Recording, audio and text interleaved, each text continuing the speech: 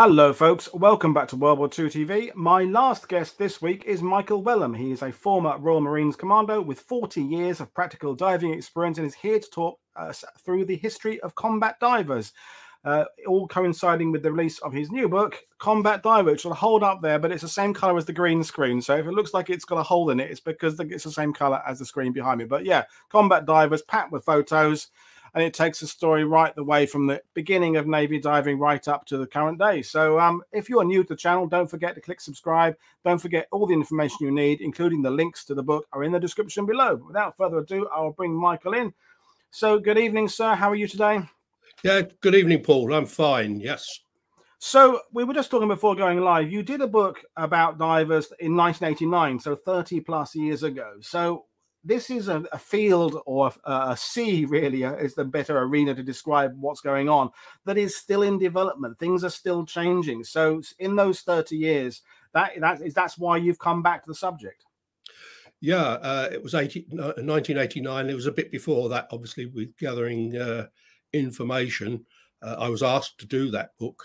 Uh, and some of the people that uh, have joined the Navy and are now retiring uh, read that book, uh, and that's what inspired them to become divers. Uh, it was called Combat Frogmen on that. So for this one, uh, which has been put uh, together by Osprey, uh, is changed the name to Combat Divers, which is the same thing. Right. And that, well, as we will probably get to later on the show, we when we do shows about special forces on World War II TV, some of the the forms of going into combat in World War II just don't really exist anymore. I mean, there are still paratroopers around the world, but the the use of paratroopers as mass divisions jumping in behind the lines probably won't happen anymore, or if it will, it will be indifferent to, to how it was in the past. But diving is one of those special forces areas that is still ongoing. We can't perceive of there being a future without it. So that's what makes it very interesting. We are going to cover the World War II history, but we're going to bring it right up to date as well. So, folks, Michael has come with PowerPoint. I'm in charge today. He'll tell me when to move on the slide. But if you okay. have questions, please fire away with them as we go along. But over to you, Mike. We have the first slide, please. Yep, we are. Yep. No, the second one. Sorry. Yeah, sorry, that's there we go. Uh, right back in the beginning, uh, before the uh, Second World War in the 1930s, uh, the diving in the Navy and, and, the military was with standard gear, big, heavy gear. Uh, you see it in museums. Uh, there are working groups that show it and display it, but it's quite heavy, cumbersome, very good to use in the water but you've got to have people on the surface getting air down to you and you can't swim around anywhere you walk around. So it's very very restricted in many senses. Uh, the italian or the uh, uh, uh chap called uh, C.P. Gorman uh, in the uk he developed one and that's the picture of it there the amphibian mark one. Uh, it's a closed circuit breathing system which means that you put uh, your oxygen from the cylinders that you carry on the side into a bag, uh, uh, and then you breathe in and it brings the oxygen out. Then you breathe back out again and it puts it through a filter system to remove the carbon dioxide, and it just goes round and round. So no bubbles are given off. Uh, he went to the Royal Navy and they said, Oh, no, no, we don't have anything. We've got standard gear. That's all we need. So he went to uh, to Italy uh, and ended up uh, going down there and building a factory and producing it. So that was the very sort of the beginning of this system. Uh, in the uh, Royal Navy, if we go to slide number two, uh, you've got on the left that's the heavy standard gear. Uh, as you can see, it you know it's quite heavy, quite cumbersome. You climb in and out of the water. Uh, but the only thing the uh, the British had uh, was on the right side there, and it's the Davis submarine submerged escape apparatus. so that works on the same principle. You pump uh, some oxygen into the bag, uh, breathe in, and then when you breathe out, it goes through a filter, it cleans it all out, and then you can carry on until you run out of oxygen in your bottle. So that's the the two types of setup that there were. Now the DSE was a bit uh, cumbersome, uh, but it was all there was, and I say it was designed for for submarines. So, so in those early days, Mike, um, were divers suggesting to the Royal Navy what could be done with diving, or was the Royal Navy telling divers and people who are involved in the technology what they wanted from divers, or was it kind of a combination of the meeting of both? Well, the, the, the Royal Navy set out what it required divers to do, and that was generally work uh, on the side and under warships. So it was quite easy to have a cage, and you could lower the guys down into the water, and they can move about uh, and control themselves down there. Uh, they put ropes right under the ship so they can move about. Uh, very time consuming, very cumbersome. Uh, whilst the uh, we didn't realize at the time that we needed to be more flexible, and that comes on to the next slide, please. There we go. Yeah, with with this one, it's uh, a human torpedo, uh, a chariot, as they were called, and it was developed by the Italians. Uh, and uh, the first attacks, oh, if, if, I can go back, Gibraltar was the main staging port for uh, Allied shipping getting stuff into North Africa. That was critical. Ships would go there, they could refuel and await for a slot so that they could take the stuff across to North Africa and offload it. Uh, the Italians realized that, wow, that's their very valuable targets there they developed this uh, human torpedo, uh, and you could uh, whiz across uh, to uh, um, to Gibraltar, and they managed to get down there, go in maybe two or three of these human torpedoes, and you drive it under the uh, under the ship, and you can leave an explosive charge. It's the warhead on the front. Uh, they were very effective in right in the very beginning they were effective nobody expected them so ships were at anchor just off of gibraltar the italians came in underwater they drove the aircraft underneath and you put a wire on one side of the ship uh, and on the bilge keel and then another the wire over to the other side on the bilge keel and then you release the warhead so the warhead then is hanging underneath the ship unseen by anybody and unknown. Uh, and then at the top, the clock ticks round, uh, and then it will go off once these guys have got away. So that was how they the schedules, and they were effective. They were sinking ships, and a lot of them. That caused a lot of panic, uh, and as a result of that, uh, they set up a, an underwater working party in Gibraltar and that consisted to start off with with two men, uh, an officer and a rating. Uh, they looked around for equipment, and the only equipment they had was the uh, submarine escape equipment. That's the only stuff they could find. These people were very effective. Now, that's me on the right in uh, many years ago now, uh, and that's Sid Knowles. Sid Knowles was around for a long time, and I spent many hours talking to him. He was in Gibraltar, going under merchant ships and hauling mines off the bottom, which could have gone off at any time. So it was really dangerous job. And the guy that took over uh, and ran it through was uh, Commander uh, Crabb. Uh, as you can see, he got the George Medal OBE. Uh, he took charge of Gibraltar for the diving and eventually, he and Sid Knowles moved to Italy because they overcame the uh, attacks that were going on. Sid was very valuable uh, when we looked at the Gamma groups. Uh, these were the brought in later. They were Italian swimmers. They uh, located in Gibraltar, and they swam across and stuck limpet mines on the ships, uh, and then just swam back and then they could watch from Spain uh, the ships being blown up uh, for their work. Okay, if we can have the next slide. And just, I've got a couple of questions we'll deal with yep. before like before we, we get too far on. So I'll go, I'll go, back a couple of slides to the um to the pictures. So Amnook is asking, how did the DSEA compare with the U.S. Navy Mon- Momsen lung for submariners? Absolutely no idea. Okay, there we are. That was easy to do. Um, Sorry about that. no problem. And it, going back to this kind of this Mediterranean story, then the Gibraltar. It seems to me, and this is a lot of my knowledge is from movies and things, is that unlike some of the other technologies in World War II, perhaps you know paratroopers or long range reconnaissance or things like that, because of the small numbers of people comparatively involved in, comparatively involved in this, both sides are actively watching what the other side's doing, and it's very, very much a trade-off and, and, and a kind of competition between the two, almost immediate reactions to what the other, you know, the towns and the British are doing. Is that a fair assessment?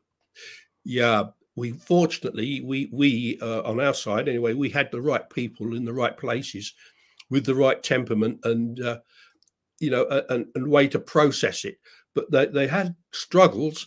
Uh, senior levels in the military still thought that you could send standard divers down, uh, but they just overcame that. You know, uh, in many ways, uh, when you look into their background, some of these guys were quite stroppy, uh, and that's how they got things done.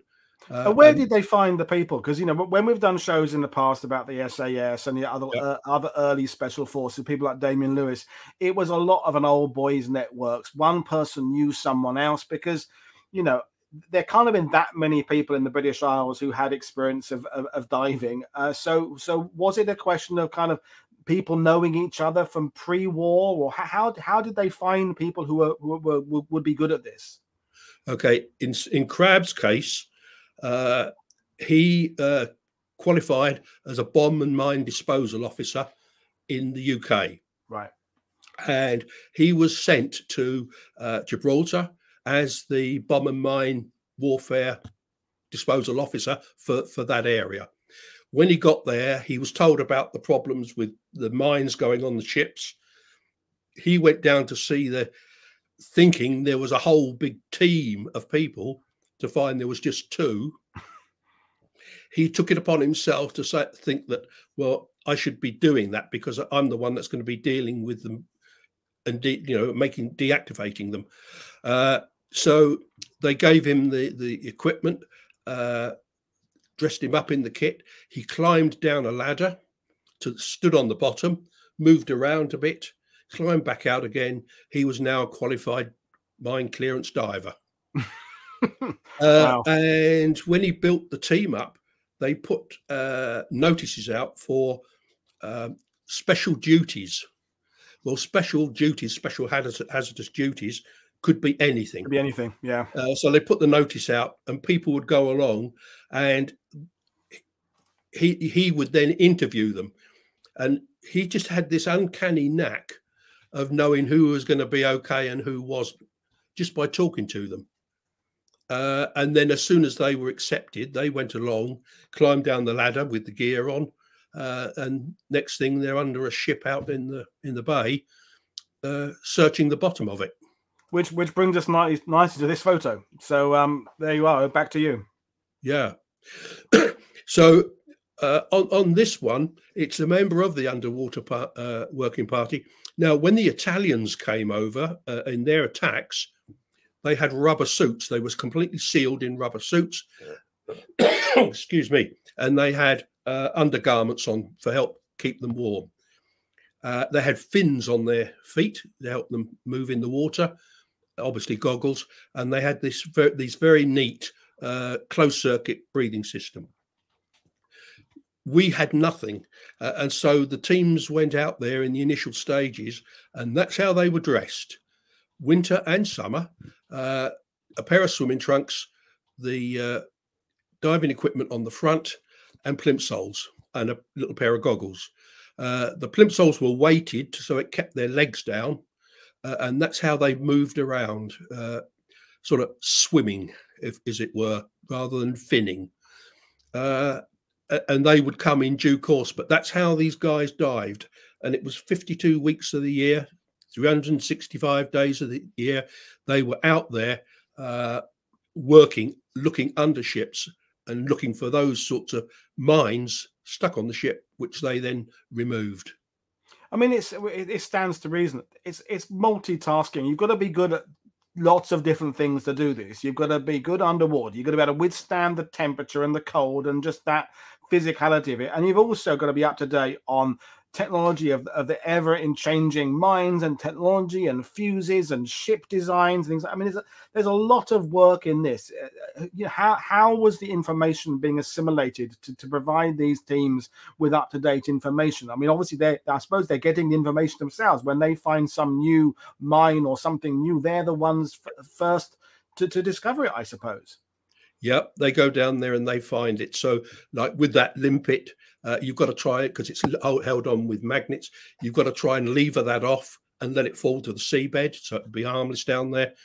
Uh, and that's the way they do it. And they just levered it off. And when they come up, they said, "Oh, I found three mines and I managed to lever three off." Oh, that's good. And it was, you know, one of the questions that Crabb would ask, you know, what's your swimming like? Well, he was a terrible swimmer. Uh, but he he was one of these people that are quite happy when he gets underwater, and many divers are uh, like that. You know, they, they might not be super good, you know, in a swimming pool, swimming up and down, but they're just brilliant underwater. Wow. Uh, and that's how these guys were, and it was it was high risk. They didn't know when that was going to go bang, and of course later on in the war they would put devices on the mines that if you tried to lever it off, it would go bang anyway. So you know, anti anti mine devices. So there was, a, you know, it's a it was a moving feast, and you learnt as you went along, and you learnt from the people you were with. And I'm guessing, you know, you in your career that by the time you start diving with the with with the navy, there is at least now a backlog of data. There was 30 years, 40 years, whatever it was, of information of here's how we used to do it. These guys Crabb and his teams are kind of writing the history as they go. they're, they're starting with this with this concept, and they're kind of filling it in as they go along. So pioneers seems to be the appropriate word to describe these, and of course their their, their fellows in the Italian uh, navy, their, their enemy, but also pushing this this technology on. Um, uh, it, it's it really is incredible. But we'll move on to the next image, and you can run us through the various uh, teams yeah. and duties and, and, and objectives. Of course, once they got Gibraltar and the and the Italian bit sort of under control, uh, and people were trained up there. Uh, back in the UK, uh, because we had the uh, underwater working party in Gibraltar, Italy, they then set up the combined operation pilotage parties. Uh, you know, and they had specific functions to do. Uh, and that was looking at beaches and looking in the ports when they were going to be captured and, and, clearing mines anywhere they were. The Royal Marines Boom Patrol Detachment, as it was called then, they were never given diving titles because, you know, if the Germans got hold of it, they wouldn't understand perhaps what they were. So it was all part of the cover up. Uh, you had the uh, Royal Marines, I say, uh, unit there, uh, and that was the precursor to the special boat service that we have today mm. uh, and they moved around in canoes uh, and uh, and also just free swimming as well. Uh, Crabb managed to get hold of a human torpedo uh, from the Italians in Gibraltar. That was sent back. So then we had our own human torpedo unit. We designed and built our own and they went off to do uh, attacks on uh, any large ships that they could get access to. Also in the mix was the Special Operations Executive SOE, uh, because they needed to get people in behind enemy lines, covert beach uh, infiltration, exfiltration, uh, and so they also uh, tried to train people. They did train people, uh, and it was all it was all very hit and miss. There wasn't sort of a centralized training program. People went off and did their own things. Uh, and then there was the Admiralty Experimental Diving Unit because they were experimenting then on diving tables. If you uh, if you take all of most of these systems that are closed circuit were oxygen. Oxygen uh, you can't use that below ten meters. It, it becomes toxic. Uh, although people have d- dived deeper than that, I, I do admit, but uh, that's the, the the rule. That's the leveling off so they wanted to know how far you could go. So they got volunteers to go in, pressured them up to all sorts of depths to see whether they survived uh, and and what the uh, impact was on it. Uh, so that was that was from that side, and you can see the diving suits. uh, the one on the left there, uh, I think that one was uh, the Dunlop. It's in two two parts. You put the top part on; it goes draws over your head, uh, and then the bottom part goes on the bottom part there, uh, and then you fold the two together. They overlap. Fold them, and then you put a rubber band which you can just see, mm. and that seals that joint. Uh, more modern suits, of course, they've got zips and yeah. uh, it's a one piece. And then you have the uh, you have a put a ring round your neck, and then the hood fits over the top, so it's all well sealed, and then your mask fits on the front of it. And there's a picture of one uh, person in there uh, with a, a closed circuit set, again uh, experimental, looking at the suits and the breathing apparatus and what you can and can't do, duration, breathing rates, the whole uh, gambit of things that they were, were looking for. And so, two points I want to make there. One is uh, just a, a, a, frame of reference is that how many times, if we were to be able to draw a family tree of the special forces in 41, 42, 43, they all kind of have these connections. I mean, SOE comes up and everything. The SBS getting connected to the SAS, and there's a small scale raiding force. Now there's what you're talking about here. It's amazing how at, there's that period in the middle of the war where everything is connected. And then when they kind of find their purpose, they start becoming separate organizations. But there's this point where it's like everything's connected. That's my first observation. And my second is when we're talking about experimental diving, you're talking about going down to different depths, things like that is there is is there a medical uh, staff involved in this assessing what happens to human beings are people coming back ill are, are is anybody uh, being lost, uh, killed in any of these things? How, how, are they monitoring what humans can do? Because again, I'm, I'm, pointing out the fact this is still a fairly new technology. It, it was very controlled.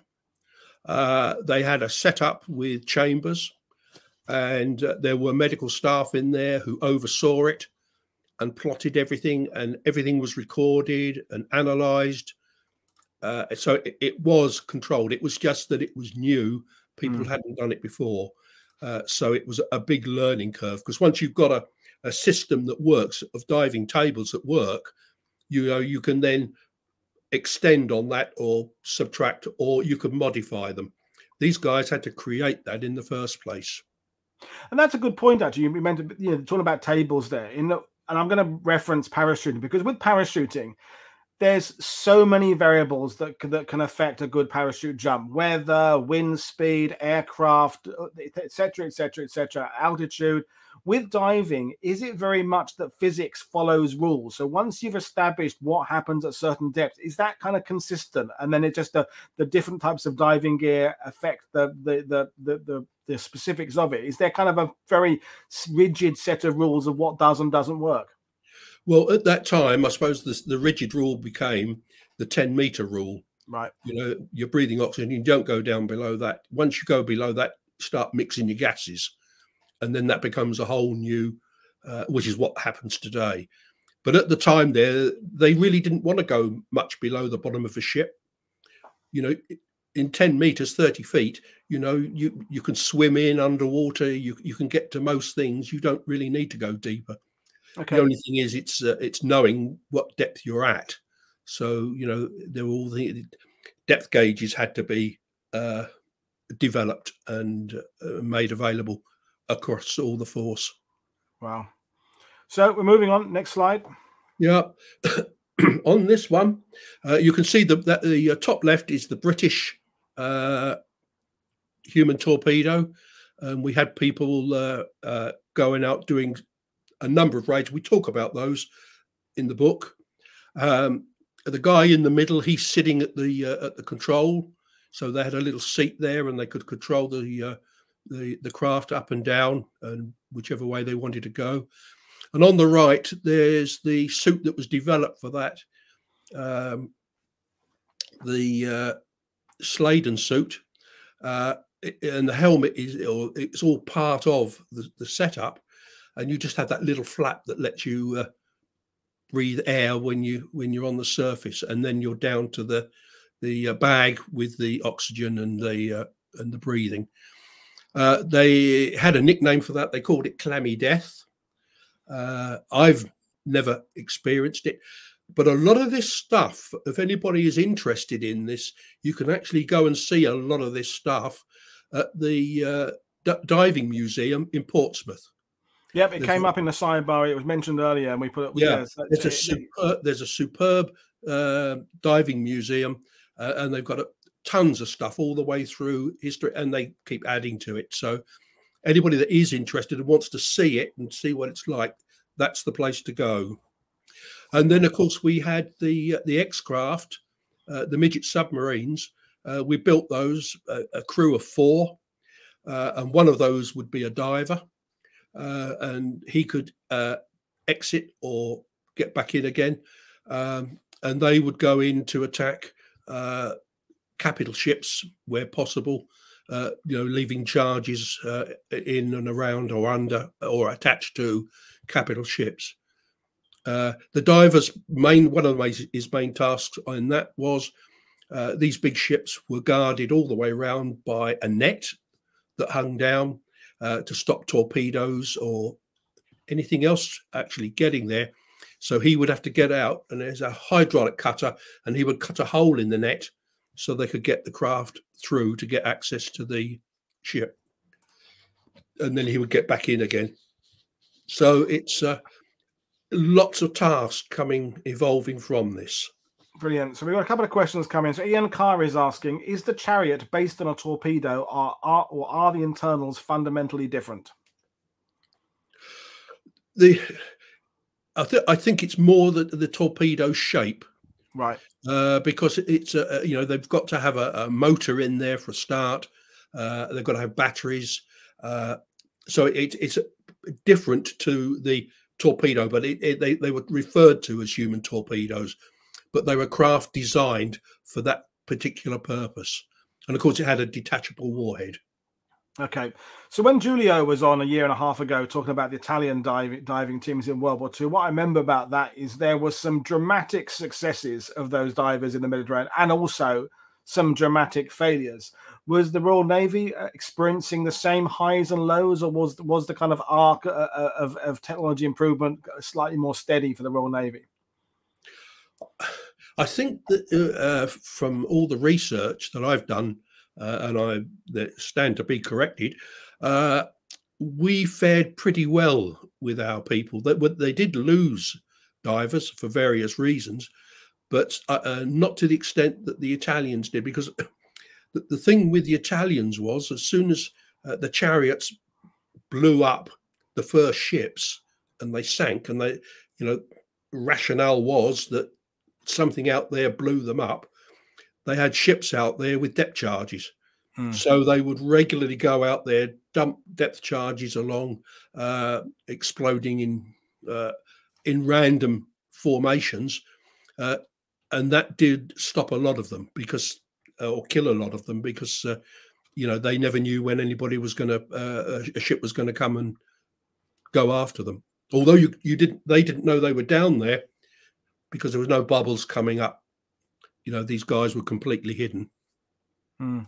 But it seems to me, whether you're Italian or British, the the potential rewards of sending out a few human beings are massive. I mean, as you said, that if a capital ship can be sunk by effectively half a dozen guys, that is an incredible um, gain for a very small loss. Even if the, the half a dozen people lost their lives, uh, that would still be a huge gain. If you look at again comparing perhaps the commandos or, or SAS patrols or, or, or, airborne forces, to get a similar gain, you'd have to send hundreds or maybe thousands of people in. So it seems to me that this technology, when it works, it, it, the, the, results are absolutely uh, phenomenal. So are there any cases, uh, British examples that stand out to you of really, really incredible use of these, either the torpedoes, midget submarines, or divers? Well, with with the torpedoes, they they went into Alexandria in North Africa uh, and uh, put two capital ships out. Uh, you know, and, and that was just uh, uh, two or three uh, human torpedoes, because you don't necessarily have to sink the ship. You know, you can put it in the right the warhead in the right place and put it out of action. And if it can't go to sea, it's not very effective. No, or, or it's vulnerable to an air attack or something else. It's, it's Yeah. disabling it for someone else bigger to come in with a bigger punch. It's uh, great stuff.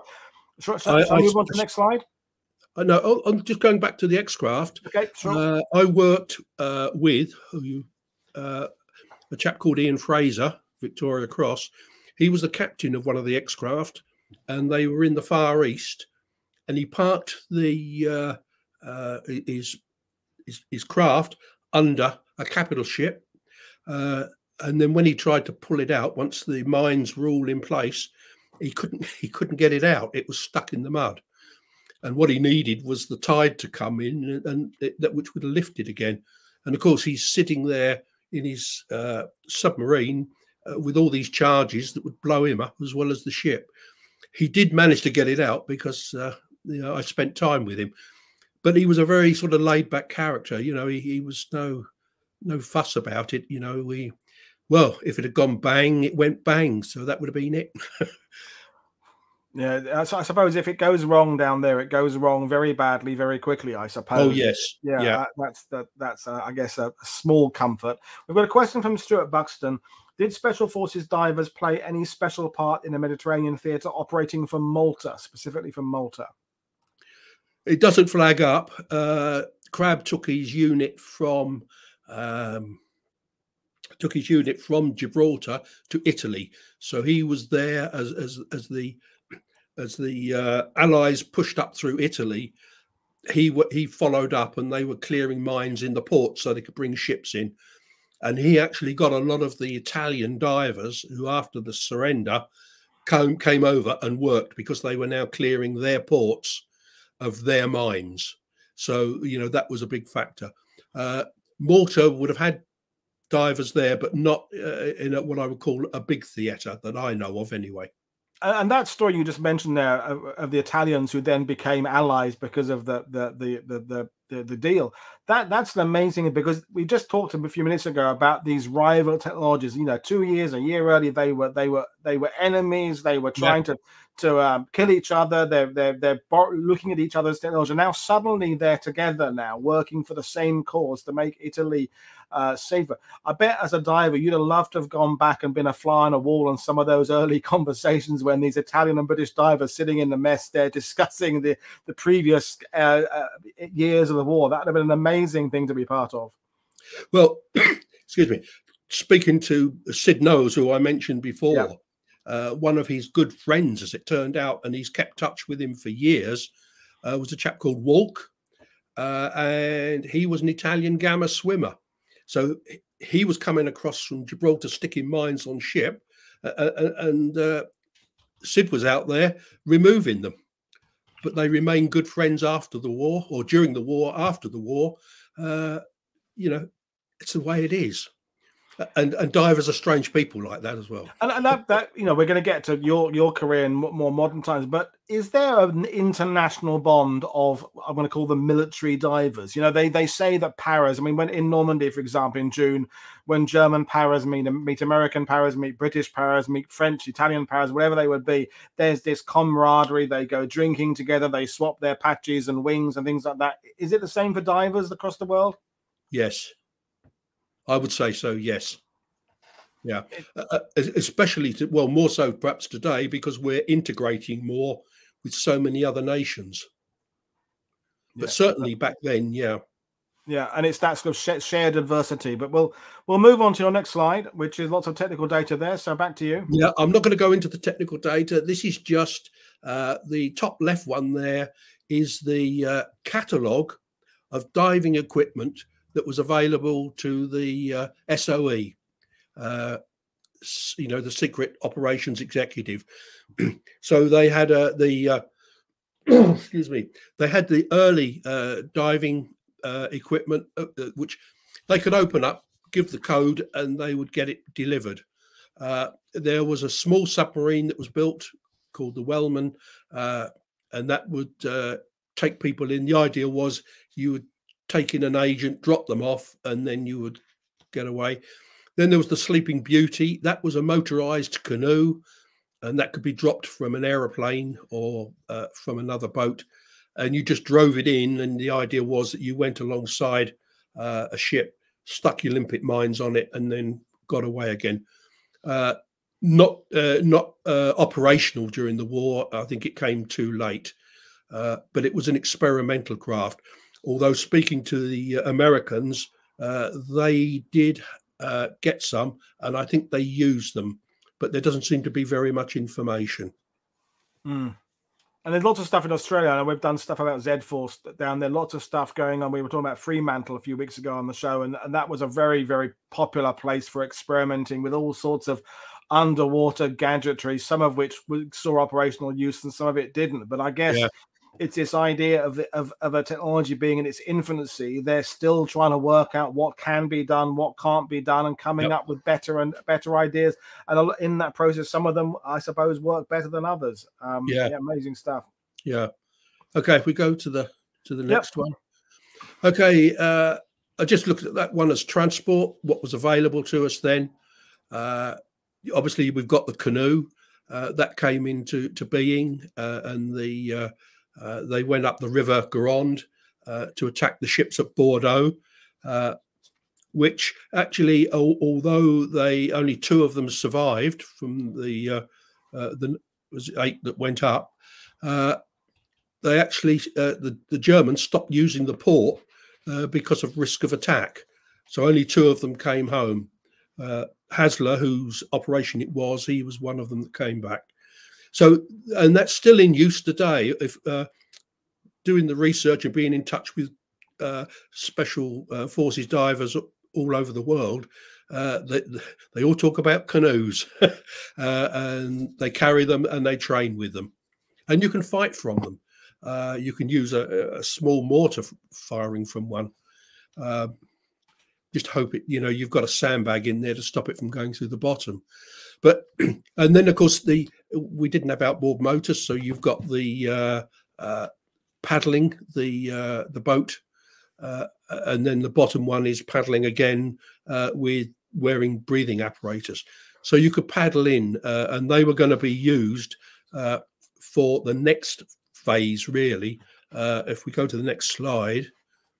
Because it came up to if you're going to land in uh, northern France, uh, where you've got all these concrete bunkers and defences, and it's going to be a hell of a, an operation, you need to clear the beaches because the Germans put all sorts of obstructions in the water right along that beach.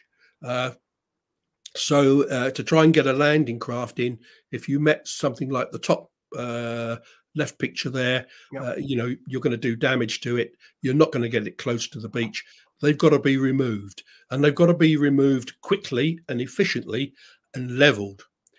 So, uh, sorry. Uh, oh, just a comment from Rob Crane about using a mortar from a canoe. He said the COPP tried it and apparently they went backwards when they fired it. I guess the trick was to anchor it first, which is yeah, it, it, it it's it, yeah. uh, I've never actually tried it, but people say you can do it, and they use a sandbag on there, and you sit on the sandbag, uh, and it depends on the angle as well where it, the uh, back force is going to go. But on this, uh, yeah, you've got the uh, all these uh, steel works in the water, all designed to stop landing craft uh, or anything else getting to the beach, and so they they got all these divers in all these different units and trained them. and it was a formidable task. And without these guys doing that work, uh, they couldn't have landed on those beaches. Uh, it was as simple as that. So before uh, D Day, uh, they had to go in, swim in, uh, try and remain unseen uh, right on the surf area and stick charges on. And now, the, they knew what the defenses were and what they look like. Um, so shape charges were made. So you just go in there, slap a charge on it, and the detonator will go off in due course once you're clear of it. So they would go in and en masse go along, uh, sticking the sticking the uh, explosives on there, which is shown in the picture below there, which yeah. is a drawing uh, of that sort of uh, environment. And then you've got the uh, in the swimming pool practicing, working together, uh, and working as a team. Uh, and then uh, the sort of kit they were wearing is the one in the right, uh, because they would also photograph what they could from the sea line, so that the uh, they could uh, get get pictures of of where they were going to land. So that the, these were the key elements to get in there, and all these guys were volunteers, and they went in there. The they had kapok um, jackets made uh, Kapok being a good insulator. Uh, so if you were still in the water when uh, when uh, the charges went off, uh, the Kapok uh, took absorbed the impact of the explosion, and that was effective and and and saved them. there's very few recorded, probably a handful of, of divers that had a problem or were killed during that operation. Uh, and of course, they were they could mark up the beach where the landing craft had to come in uh, and land.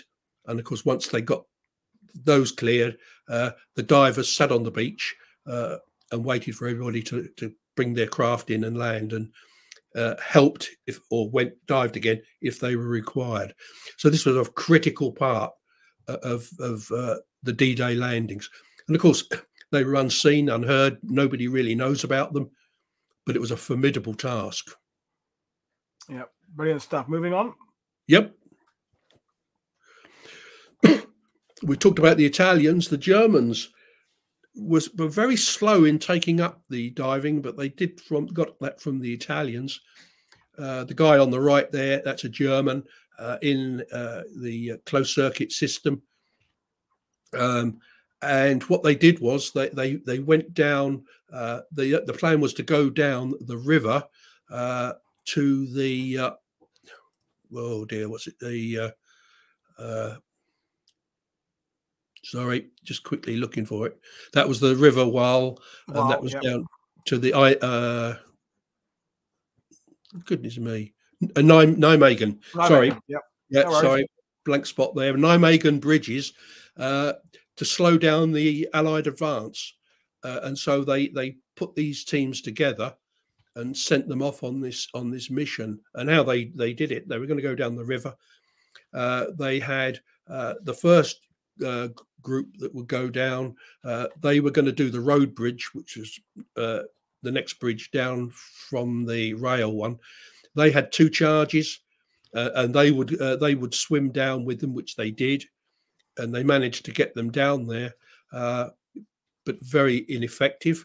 Uh, the four uh, went down, and the idea was you snagged those ropes around the the pillars, and they did do some damage. Uh, the, uh, uh, the the the exploded and some of the bridge. Yeah. Oh, sorry. It's the road bridge that. right. Okay no, the, the the rail bridge was wrecked, and then uh, the road bridge was, uh, was was damaged.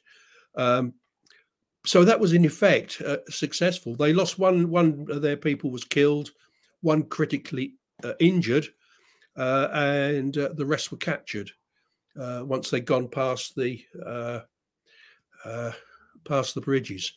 And just... it's fair to say, Mike, that the people watching who would consider themselves Operation Market Garden experts, this is one part of the Market Garden story they didn't know before. German divers to slow down their advance. So you've you've caught out our viewers with a bit of uh, knowledge they didn't know. At least everyone is is not admitting they they didn't know it. So I certainly didn't know it until you told me. So yeah. amazing stuff. And they were, I mean, it was probably their their, their first and real task. You know, they they were and they were they were uh, like most divers, you know, quite aggressive that it was going to happen and it was going to work. Uh, and yeah, it, it, was. It took some doing. They actually entered the water. Where they actually entered the water into the river, that was in German hands. And then there was this sort of bulge around the bridge, and then there was uh, it was more German uh, held territory. So the idea was they went in in German occupied, swam down uh, the river, left the charges in place, uh, and they had to drag those things around on the bottom of the river, uh, all without being seen, uh, to get them where they wanted them uh, to, for best effect. They then swam on.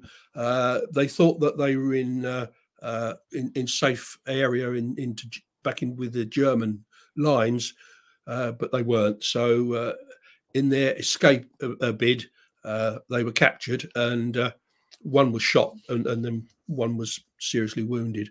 So that was a, a, an insight into you know where they come from. Yeah. We just had a question from Sheldrake. Uh, saying, did this attack happen during Market Garden or after the operation was over? So is it, it just just confirm the, the dates for this, please? I haven't got the date to hand. Uh, I haven't got the date to hand on that. Sorry. Okay, no worries.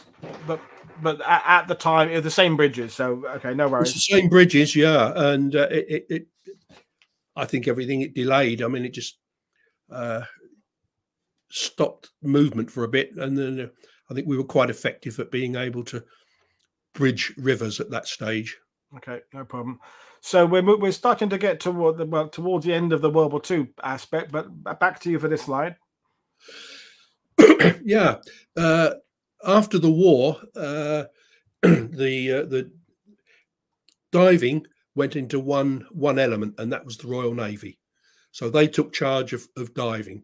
The Royal Marines uh, had their diving, which was was separate, but that was for their special forces, and they beca- they were then handed over to the Royal Marines, and that was the special boat service. So that was the two main elements the uh, the army had the Royal Engineer divers, and they, you know, were again a separate element. But for the main part, uh, it was uh, the clearance divers. Uh, part of their equipment over the e- evolving years is is the uh, the picture on the left, showing uh, a CD clearance diver in in the dress that I remember being in use, and you know, in the dry suit uh, and a mask. Uh, they uh, you when they use their diving equipment, the the breathing hose went into the mask uh, and it had a, a, a, teat inside, and that went into the diver's mouth. Uh, the SBS wanted a mask and a separate mouthpiece, much the way as uh, you know a scuba diver would have mm. today, uh, because these guys kept the mask on for the duration, whereas SBS would pop up and want to be able to move their mask and get rid of their breathing apparatus if they were coming into land somewhere. And then the bottom right is the uh, the standard job. Uh, uh, a marine there, come ashore, uh, and it's part of the uh, uh, back in the time the getting the gradient of the of the beach. You know, and, and taking samples from the beach because they you know we had to know whether that beach could take a tank or what else you know what other equipment was going to be landed. So they that was the beginning and of course the diving then it all had formal courses. Divers had to go and have uh, medicals. You had to be fit to do the job. The course was standard. Everybody did the same course uh, unlike during the war when medicals were, you know, you're breathing, you're fine. Uh, this was a whole change in the concept of it. And then the teams took over various roles in, in with their diving capability. They'd be di- di- a lot of their work during the post-war period, of course, was dealing with uh, German mines that were floating around out at sea uh, mm. that loose from their their fittings which are, are still out there to this very day. Yeah, well, I'm just going to come back to a question in a minute. But Sheldrake is he's done a quick check. The attack was on the 28th of, December, of September, so very soon after withdrawal of First Airborne. But but uh, but yeah, in that time of the, of the time, in that time, yeah. So there we are. So just going back to what you're saying about that that end of war period, I mean, it goes back to what I was saying earlier in the in the top of the show is that I'm presuming there was never any doubt that there was going to be a need for divers post-war. In that, when we're talking about other special forces around the world, they're all being disbanded and collapsed. Merrill's Marauders, Rangers are fighting for their existence in the U.S. Paratroopers are are they going to be needed? SAS gets gets you know wound down. I, I, I, assume in the case of the okay that they, they get organized, the Royal Navy do what they do, Royal Marines commanders do what they do, but there was never any doubt that this was going to be something that would be needed in the future. Is that right? Certainly, especially for the clearance divers. Yeah. You know, you've got mines. We have a mine sweeper that will go and sweep uh, mines. but what do you do with a mine that's washed up on a beach? So it's part in water, part out of water, or it might be seen uh, or it might be discovered in water and they need to put people in uh, to go and look at it and deal with it, find out what what mine it is. Uh, so yeah, they they were needed and they they they were kept busy and they still are. Yeah. Which brings us to the last few slides there as we come into kind of your era and then beyond, in that the, the basic principles, I suppose, stay the same in that it's clearing mines and there's an offensive uh, uh role as well. But the technology, I'm assuming, gets better and better and better. And the delivery, the speed with which the, you know, the, the paddle your own canoe era uh, with the outboard motor and things like that. So run us through the next the next part of your presentation, please. Okay. If you Oh, yeah. So you have. Sorry. yeah. Uh, yeah the uh, the top two, the first two, the top left and the one in the middle there, they're German. Uh, they uh, latched on to this very quickly after the war. Uh, they're swimmer delivery vehicles, uh, so they're both uh, you're exposed to water in them. so they developed and designed and developed those for their units, which require. And this, of course, aids when you've got a, a people in the water where they might have to fin for a long distance. Uh, in, in this way, that gets you very close to your target. And of course, you can carry uh, a little bit of equipment on board it, uh, you know, and it helps you along. Uh, so though there was those two. On the right, again, it's the delivery of the uh, canoes. Um, there, that's a Danish uh, setup there you get your canoes from inside the uh, submarine. You you sit on board them, wait. The submarine submerges, and away you paddle. Uh, the uh, bottom left is a unique craft. Uh, it, it was I found this one uh, in the uh, first book in Combat Frogmen, and that's where one of these. You know that not that picture. It, that's been an up that's the upgraded version. Uh, but this craft has been around for a long time. It's a, an inflatable, semi-rigid inflatable uh, that actually you you suck the air out of the tubes, it sinks, and it becomes a submarine or a mini sub. It's absolutely incredible piece of kit, and you can see at the the bow and just at the stern there, there's the uh, uh propellers for the for the uh, port side and the same on the other side. And then when you go in, do what you have to do, your operation, and then you come back out uh, and uh, and away you go. That can carry six divers. Uh, so you can get a team in there. They can carry mines, do beach surveys, infiltrate a team, whatever's necessary. And then uh, you've got the submarine. Well, we've been able to lock in and out of submarines for a long time, but it's still used uh, you know, even even up till today. Uh, you know, the, the submarine comes up to a reasonable depth. You lock your people out. They go off and swim, uh, do what they have to do, uh, and then come back and they can lock back in again.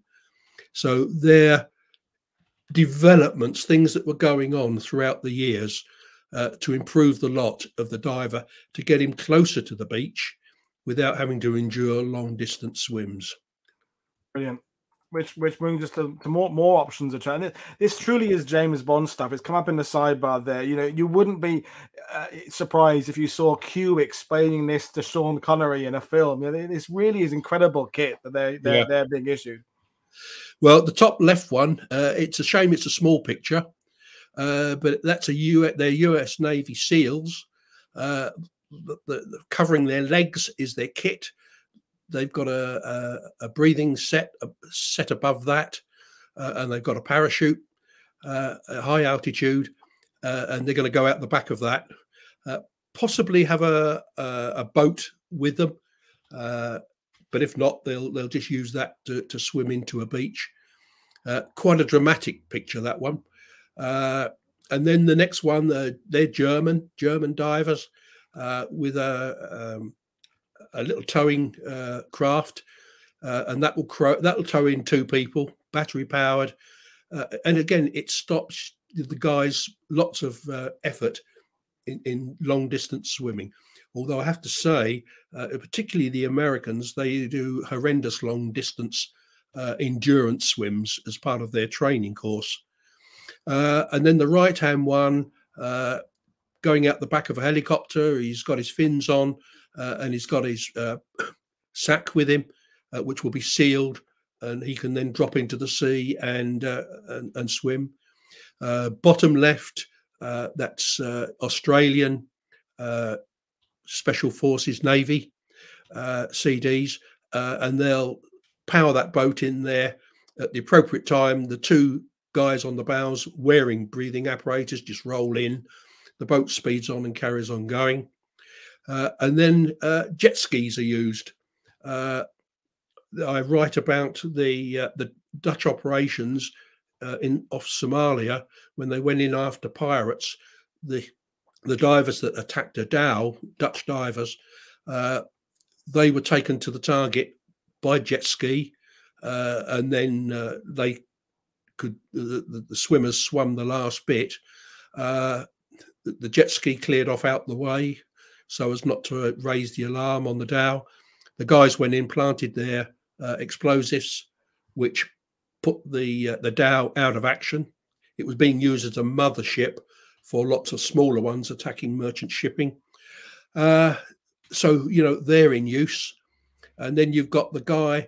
Uh, he's got his uh, his load sealed and he's got his weapon on the top and he's just swimming in from something a craft that's dropped him off uh, and then at the back end there we've got again the inflatable boat with with the divers sitting on it uh, uh, checking all their equipment ready to go off out and do uh, whatever operation it is they're going to do Brilliant stuff. And, okay. uh, was there always a sort of a sharing of ideas? Obviously, during the Cold War, there's there and, and and there are situations today where obviously we're not sharing with the enemy, but generally, like this idea of paratroopers being brother paratroopers, is there kind of a sharing of of of, of information across the Allies all through the the period you were involved in this? Uh, well, I I had uh, links into into uh, Holland with the Dutch Dutch Marines. Uh, who are in, in an integral part of our SBS. Right. Uh, you know, they operate, train, and will go on on operations together. Uh, so yeah, that's long standing. Um, it's it's probably stronger now. There's more of a mix now than there, than there was. There's a lot more interchange with the various military forces. And one of the big developments, of course, has been the uh, dry deck shelter uh, which takes the uh, bigger swimmer delivery vehicles. We carry uh, you can get six people uh, on that. Uh, this is bolted on to a submarine and it connects into the submarine's um, hatches. Mm-hmm. Uh, and the craft sits inside, which in the center, you on the left, you can see it being uh, ready to go in. In the center, that's the uh, the crew, the dry deck shelter crew who do the maneuvering of the craft in and out and make sure everybody gets in and, and everything is safe. They're Royal Navy divers uh, uh, for us, and of course the Americans will have the same. Uh, the right hand one just shows that's an American one there, but you've got a guy who's uh, he will be on a uh, connected to the submarine on a, on a on a hose, and he will be guiding the uh, the craft into the uh, the shelter. Uh, the bottom left is the, somebody waiting in there, and you can see, excuse me, and you can then see the uh, the guy in the center. You know, he's guiding the uh, the craft going in. Uh, uh, and then you've got the guy uh, who has uh, come out from the hatch. He's on. He's on a hose. He's on a a, a, a supply of uh, breathing mix from the submarine itself. So any cylinders he's got a, a backup. So there, the that this has transformed everything that goes on. These can go out there, and of course the divers, uh, when they go in these uh, craft, like that one there on the top left, they're sitting in water. It, it, they're open, exposed to water. Depth is critical uh, and duration of the dive is critical. Uh, but it's very, very controlled. The supervisor of the dive is in the craft, uh, who will be managing what's happening and going on out there. Uh, yeah, very very effective. And of course, once it's back into the uh, into the uh, into the deck shelter, uh, they can then pump all the water out, and the guys are back into atmosphere dry, same mm. as it's mm-hmm. inside the submarine. So then they can go down in back in the submarine for food or whatever. But what's amazing is having just been talking about the X-craft and the midgets, uh, you know, the torpedoes earlier, is you can see the direct connections. You can see the evolution. You know, it's it, okay. This is better and and more sophisticated, but you can see the direct ancestry of the, the of this type of gadgetry, which brings us to the next photo, which again of the frogmen and the divers, is that you know so much of it is from the same as Crabb's. There, you know, uh, uh rubber suit, mask, hose, yep. air coming in, and a weapon. That it, it, it in some ways, although it, you know the, the, principles are exactly the same as they were 80 years ago. Yep. And I mean, here is a is, is a classic example. Uh, top left, uh, uh, the the army, U.S. Army, uh, combat divers. Uh, the middle photo, Philippines. the the right is Ukrainian special forces. The bottom left, Russian and uh, the the bottom uh, center one uh, that's um, British uh, setup, and that equipment is provided to the Royal Navy today from the particular company. And again, the one on the right supply supplies uh, made in this country, and it supplies uh, equipment to various navies around the world. So we we're in there, and we are at the forefront of a lot of what's going on.